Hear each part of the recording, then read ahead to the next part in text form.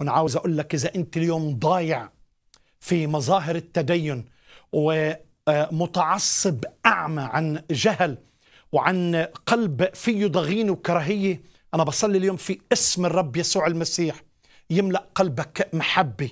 في اسم الرب يسوع المسيح يفتح ذهنك حتى تستوعب حتى تستقبل إنها حياتك الأبدية. ما تغامر لا تقامر ولا تجازف في حياتك. اليوم إن سمعتم صوته فلا تقص قلوبكم. الآن هو وقت خلاص ما تأجلش. دقيقة واحدة. ما بتعرف يمكن المسيح يرجع في هاي اللحظة.